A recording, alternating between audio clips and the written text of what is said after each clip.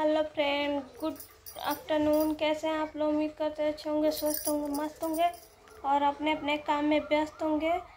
तो कैसे हैं आप लोग? उम्मीद करते अच्छे होंगे, स्वस्थ होंगे। और अभी देखिए, कम से कम हमको लग रहा है एक हफ़्ते बाद थोड़ा तबीयत सही लगा है तो आज अच्छे से थोड़ा तैयार हुए।